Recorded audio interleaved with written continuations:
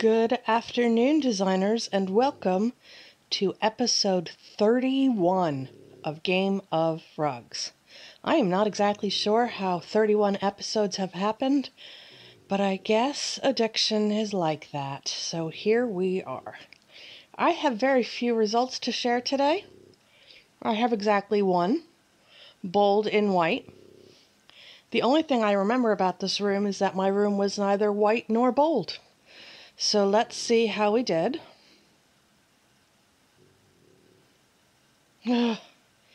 It's such a toss up with this rug. I mean, it's a very plain room. I, I accept that. Um, but it is such a toss up with this rug. I either score fives or I score bupkis. This is much more towards the bupkis end. But I guess that's okay and it's over a four, so I won this, which I really like. I wonder if it comes with gin. That would be really nice. I'd be super into that. Um, and let's see. I saw somebody submit this room, and that is brave. I mean, that is a color saturated room. I know it's all blue, but it's very saturated. And uh, wow. I mean, it's definitely not to my taste, but that does not mean that I don't admire it because I totally admire that. And then we've got tons of turquoise. This is my surprised face. Uh, I mean, it's pretty. And do you know something? I'm such a horrible person. I'm so mean. Um, I don't really like these prints, which is why I'm just like, whatever. Um, but they do go really nicely with this rug. And also, I have a really, really sneaking suspicion that when I get to level 43, I will suddenly love these turtle prints. So there you go. Um, I really like th- this room. I mean, obviously, I don't like the turquoise furniture, but I do really love. These are so great and they're so cheap, and I buy the hell out of those. Okay, thanks, honey. Um, and that was my husband. Uh, and I love those too level 37, that's something to look forward to. Anyway, there are a number of things that I like about this room. So that's a good job. This one is different. It's uh, black and red and white. I mean, I don't actually think this is the best example of a black and red and white room, but it is nice. And my very first five was on a black and red and white room and I won it when I was level six. I was very proud of myself. Oh my god. Okay, thanks, honey. Um, I like this. I'm surprised that I like this. I think it's the preponderance of brown. I, I, I think I like this more because this designer made more of the brown in the room um, that went goes with the brown in that turtle print, and I do actually prefer this. I think it's nice. And this one is my favorite. I love these chairs and sofa with this rug. And this person also made a lot of the brown by choosing their coffee table, the frames on their palm prints, and the side table. I know um, I'm familiar with a lot of these items and I really like them. Uh, this is very, very pretty. That is hella expensive, you guys.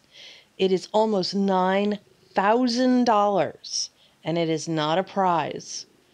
This person, Daryl Lorenzo, God bless him, paid out nine grand to buy that credenza, and it was such a good choice. This is really, really a nice, nice room and boyfriend was not cheap. This is also a really nice side table. And uh, what is that coffee table? This is a this is a prize from Brownstone. Okay. Anyway, I am very, very, very impressed by this room. Really, really like that. Okay, good job, Daryl. And um, so, yeah, Daryl walked all over mine. I'm surprised I got over a four. So, congratulations to all of those winners.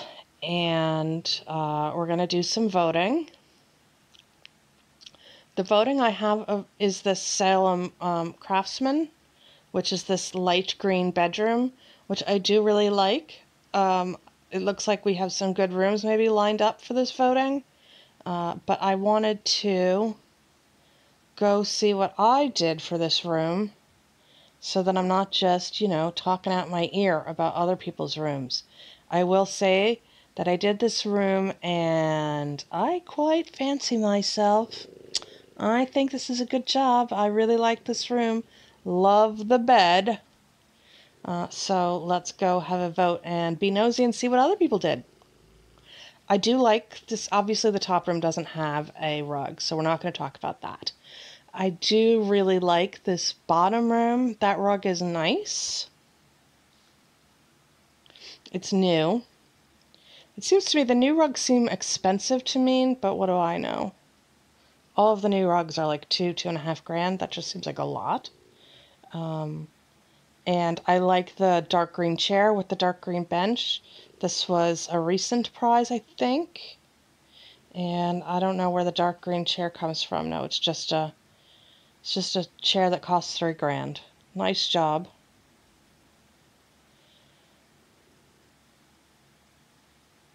Nice job.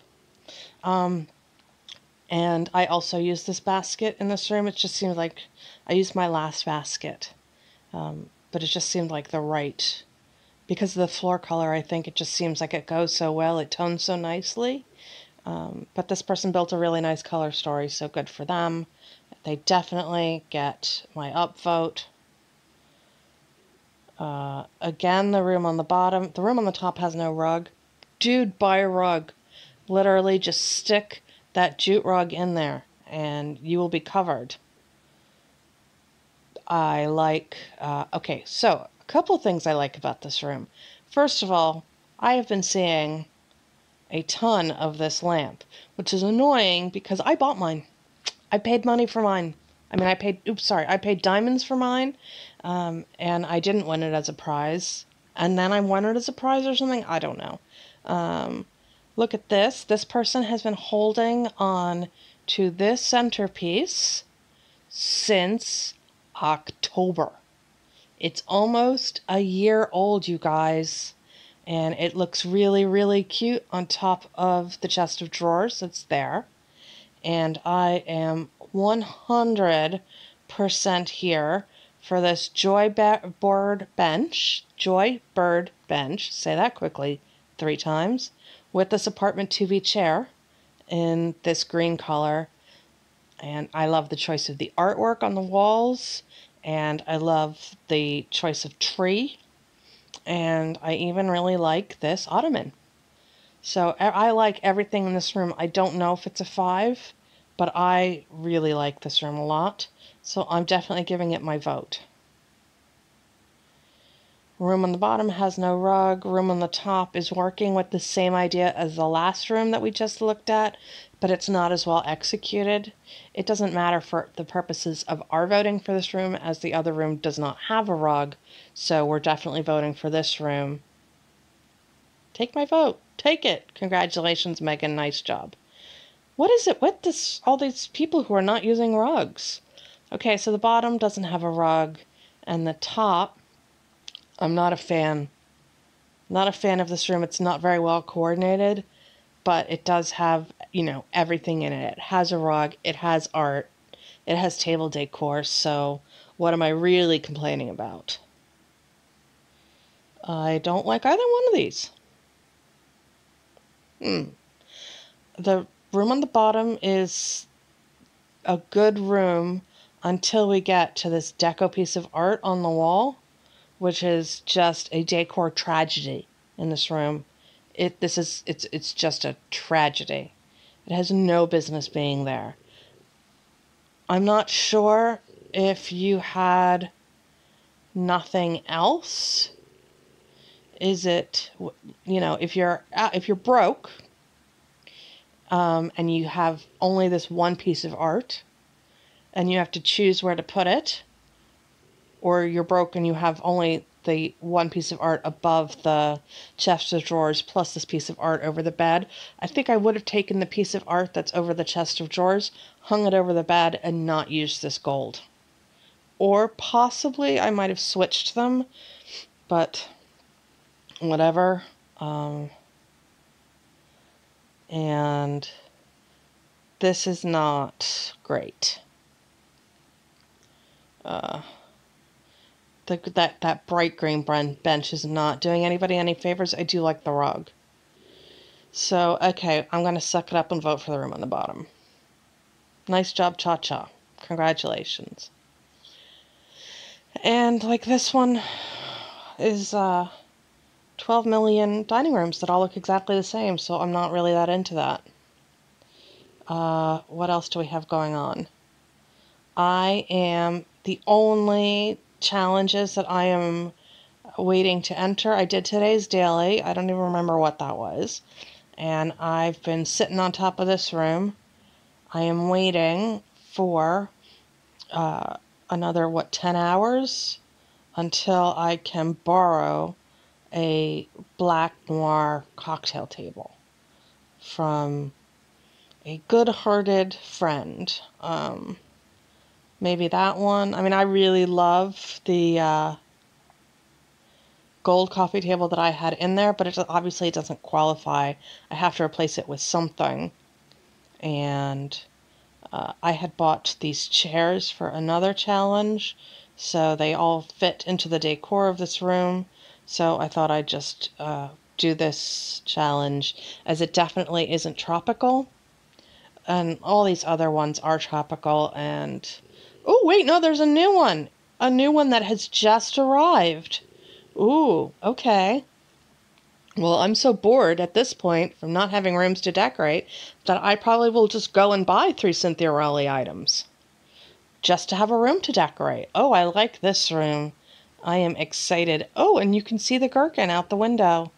The it's a if you don't know the gherkin is that uh, we're gonna politely say bullet shaped building that you can see out the window of this, and it's so reflective that it basically you can fry eggs on sidewalks, and the whole thing's just been a nightmare. But what can you do? So it's a famous building in London. So this this is a flat that will cost about 2.5 million pounds. Oh, it's a writer. Yeah, this writer can't believe how lucky she was to find a place in Chelsea. Okay, well, I guess she's a best selling author. This writer is a best selling author because she's somehow in Chelsea with a view of this. Of, okay. Maybe they could just write me, hire me to write geographically accurate location copy. Or coordinate photos with locations so that the photos look like they actually come from the locations. That would be fun. Uh, all right, so that's about the, all I have, and I just wanted to quickly check on some results from my neighbors and Facebook friends, and I can't even remember if I entered this, but let's have a look. So my design home friend Cheryl did this room and I love it. I love the leaf print, the tropical leaf print art on the walls. I love the peacocks. They're really great. Um, that uh, on the top of the uh, dresser on the right is a the peacock. No, it's not a peacock. The flamingo and pineapple stack of books that came from a previous limited edition. And I love the green and white lamp. And it's just a really nice room. And I know it's hard to see behind her name, but the ottoman, the uh, bedside table, the side table next to the chair, is pink. So this all goes together really, really nicely. She consistently does really nice rooms and scores very well. She's like a consistent high fours and fives player. So, um, congratulations, Cheryl. And I actually like hers better than any of these other ones that I'm looking at. Yeah, I don't really like that. This is my design home friend Nancy. That's a nice room. I'm not mad about it, but it's nice. Mm. We looked at those. These are the ones that just came out. We just looked at in the voting. This is also Cheryl's room. Uh, I'm glad that people had stuff to put in this room. I didn't, so I skipped this. And even though Cheryl did a nice job in this room, I don't like the room itself, so I'm not into any of these. I just feel like it's pink vomit. And Cheryl also did this one. She is on a streak. Go, Cheryl. Good job. Ooh, I like, sorry, I like this person's choice to use lattice outdoor furniture on this indoor room. That's a good choice. Not mad about that one. Ooh, or that one. Or that one. Huh, okay. So, yeah, we looked at a couple of those yesterday as well. Anyhow, that's everything that I've done, all my votes, all the rooms I have waiting to go up. And I guess that's it for this episode. Thanks so much for joining me today.